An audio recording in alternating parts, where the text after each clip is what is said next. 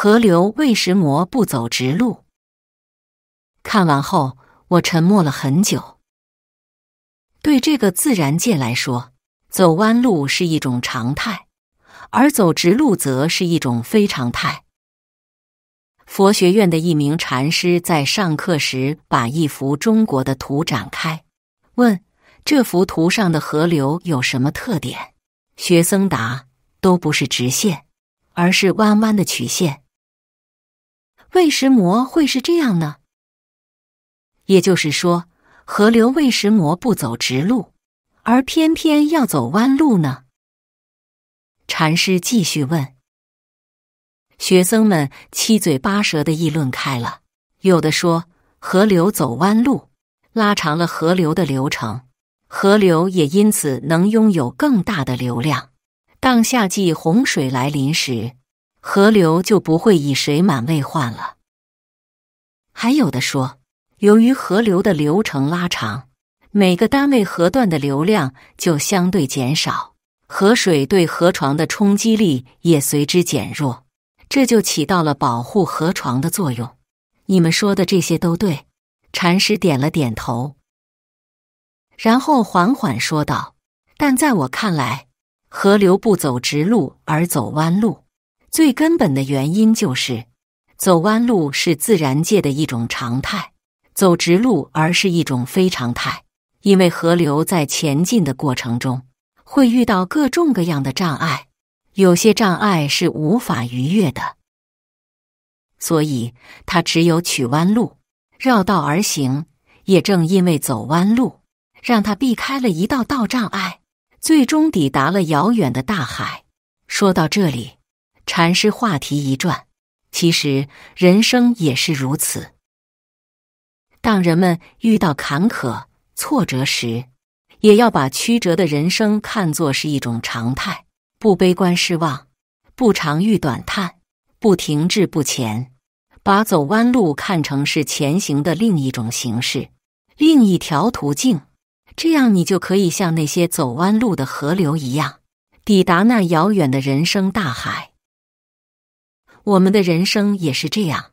当你遇到一件事，觉得无法好好解决，甚至已经影响到你的生活和心情时，何不停下脚步，多些冷静，多些思考，换个角度，换个空间，换种方法，换个思路，也许事情会简单许多。把走弯路看成是一种常态，怀着平常心去看待前进中遇到的坎坷和挫折，辈子永远都保证自己都是快乐的，那是不可能的。只有经历过。才会懂得，只有痛苦过，才知道快乐时刻是多么开心；只有爱过了，才知道心痛的感觉；只有付出了，才能获得回报；只有辛苦过，才知道快乐其实是那么不易；只有失败过，才知道成功是那么艰难。人这一辈子活着，不是为面子，不是为别人，不是为金钱。不是为物质，不是为享受，不是为占有，不是为工作，是为了自己。只有自己充实了、开心了、快乐了，那么你终老时刻才不会带住遗憾走入尘土。人生在世都不容易，懂得珍惜该珍惜的一切，懂得放弃一切应该放弃的，懂得把握一切应该把握的。懂得享受该享受的一切，让自己这辈子过得充实、快乐、健康，珍惜自己身边的一切吧。人生短短几十年，时间很快就过去了。不要错过后再来后悔，不要失去后才知道要珍惜，不要让自己的一生过得充满遗憾。把握今生，不要期待来世。后悔无用，活得充实，人生才不会留下遗憾。人生如梦，岁月无情。蓦然回首，才发现，人活着是一种心情。穷也好，富也好，得也好，失也好，一切都是过眼云烟。想想，不管昨天、今天、明天，能豁然开朗，就是美好的一天。不管亲情、友情、爱情，能永远珍惜，就是好心情。记得有一个经典这样写住：曾经拥有的不要忘记，已经得到的更加珍惜，属于自己的不要放弃，已经失去的留作回忆。想要得到的，一定要努力。累了，把心靠岸；选择了，就不要后悔。苦了，才懂得满足；痛了，才享受生活；伤了，才明白坚强。总有起风的清晨，总有绚烂的黄昏，总有流星的夜晚。人生就像一张有去无回的单程车票，没有彩排。每一场都是现场直播，把握好每次演出，便是对人生最好的珍惜。把握现在，畅想人生。佛说，一切都是注定的因果，人在做，天在看，你做的一切都躲不过老天的法眼。善恶到头终有报，你的善良，别人不懂回报你，天会报你。你的恶行，别人怕你，天必罚你。人生在世，要多行善事，多种善因，多修善缘，才能多得善果。爱情有因果，爱人者，人恒爱之。孟子说：“爱人者，人恒爱之；敬人者，人恒敬之。”爱上了谁，不是说说而已。不是花言巧语的欺骗，而是用心去关爱人，用行动去打动人，用爱去温暖人。你爱的人懂得了你的心，感受到了你的爱，才会更爱你。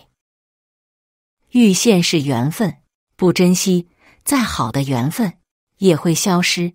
一个人心寒了，就是依然爱你，也会果断离开。要享受爱情的卿卿我我，就要付出爱情的真情实意。爱情的路上，谁都别敷衍谁，欺负谁。福报有因果，赠人玫瑰，手留余香。一个有福气的人，不是无缘无故的福气，是自己赚来的。你给予别人的越多，得到的福报越多。你吝啬自己的东西。不舍得给人，福报就越少。有舍才有的，赠人玫瑰，手留余香。你帮助别人，即便没有得到感恩，但得到了心安理得的心情，感觉人生踏实，过得充实。福报是天意，更是人为，是一辈子坚持修善、修心、修缘，一生行善。福报不请自来，孝顺有因果，孝顺是榜样的力量。农村有句土话：“屋檐水，点点滴。”也就是说，一代人和下一代人，不管走多远，年纪多大，总是血脉相连，走不出家的屋檐，还是家里人。因此，一个越孝顺的人，老了。孩子也会更加孝顺你，因为你的孝顺就是榜样，是最好的道德教育。如果你对父母不孝顺，甚至老死不相往来，那么你的孩子也会有样学样，不会对你嘘寒问暖。事业有因果，越努力越幸运，越执着越成功。一个人。越努力越幸运，越执着越成功。人不帮忙，老天也会帮你。所谓机遇，其实是冥冥之中的天意。努力的人是顺从了天意，抓住了机遇，让自己的事业更上一层楼。那些天天抱怨生活、埋怨老天的人，后来都是一事无成。